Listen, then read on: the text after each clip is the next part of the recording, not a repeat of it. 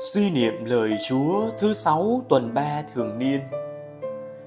Tin mừng Chúa Giêsu Kitô theo Thánh Luca. Anh em hãy ra đi, này thầy sai anh em đi như chiên con đi vào giữa bầy sói. Suy niệm Khi truyền lệnh cho các môn đệ ra đi truyền giáo, anh em hãy ra đi Chúa Giêsu không che giấu vô vàn khó khăn, thách đố đang chờ các ông. Đứng trước khó khăn thách đố ấy, các môn đệ như chiên con giữa sói rừng.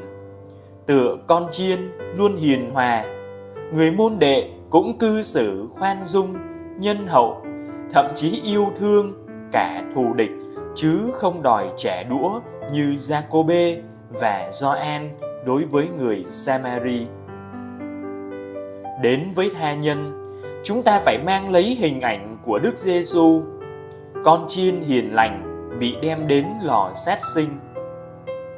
Tính cách dễ mến, dễ gần và vô hại của con chiên mới có thể thuyết phục lôi cuốn người khác quan tâm đến những giá trị nước trời.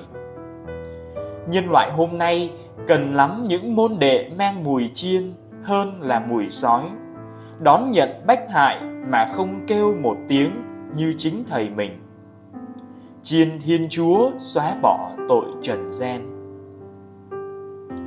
Tâm lý tự nhiên của con người là luôn muốn hơn người khác, nhưng người môn đệ Đức Giêsu thì ngược lại, luôn để kẻ khác hơn mình.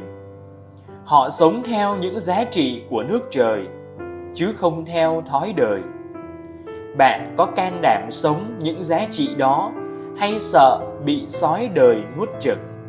Chùn bước trước mệnh lệnh, anh em hãy ra đi. Mời bạn chia sẻ với nhóm những chống đối, cười chê, mệt nhọc khi sống những đòi hỏi của tin mừng. Sống lời chúa hôm nay, tôi và bạn luôn tâm niệm một điều ơn ta luôn đủ cho con. Lạy chúa, xin ban ơn can đảm cho mọi người Kitô hữu, để chúng con thực hành lệnh truyền ra đi, đem những giá trị nước trời đến cho anh chị em chúng con. Amen.